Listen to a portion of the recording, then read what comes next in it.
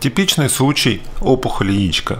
Я думаю, что это короткое видео в большей степени заинтересует молодых докторов, которые только недавно начали осваивать ультразвук, нежели наших коллег с опытом.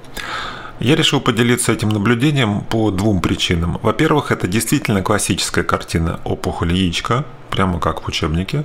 А во-вторых, э, известно, что рак яичка встречается очень редко. И даже выполняя УЗИ в ежедневном режиме, врач может встретить одного или двух таких пациентов за год, да, а то и вовсе ни одного.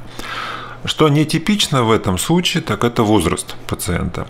Мы привыкли считать, что рак простаты встречается у молодых мужчин 20-30 лет. Этому пациенту 50.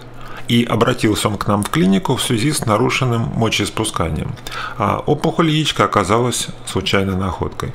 Вы видите, что она невелика по размеру, чуть больше 1 см. Естественно, что она не пальпируется и она не вызывает никаких жалоб. В режиме ЦДК мы с вами видим, что кровоток в этом образовании усилен по сравнению с остальной паренхимой, что характерно как раз для опухоли. А в итоге наш пациент был прооперирован, да, вот такие небольшие размеры образования позволили выполнить резекцию опухоли и сохранить яичко.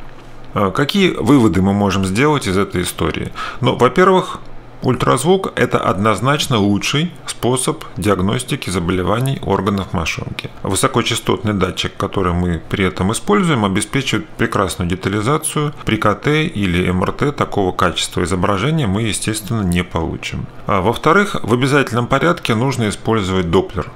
На моем канале есть видео, где я рассказываю, как ошибочно был поставлен диагноз опухоль яичка у пациента с перекрутом яичко. И это произошло только потому, что наш коллега не использовал Доплер, а ограничился только B режимом. И третье, последнее, и самое главное, что я хочу сказать, а что УЗИ мошонки не требует много времени, это очень короткое исследование. Чтобы с помощью УЗИ исключить опухоль яичка, требуется буквально 5-7 секунд. Поэтому, если я делаю УЗИ почек или простаты своим пациентам, то я в обязательном порядке смотрю и органы мошонки. И советую вам, дорогие коллеги, поступать так же.